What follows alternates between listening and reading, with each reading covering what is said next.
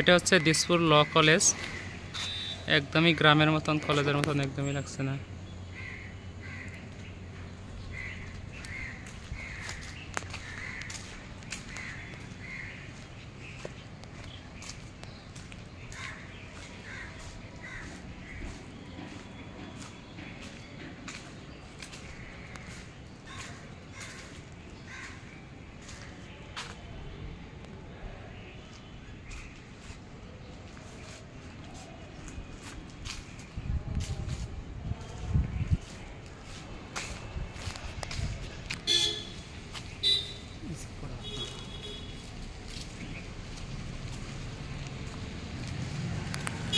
সবাইকে অভিনন্দন জানাই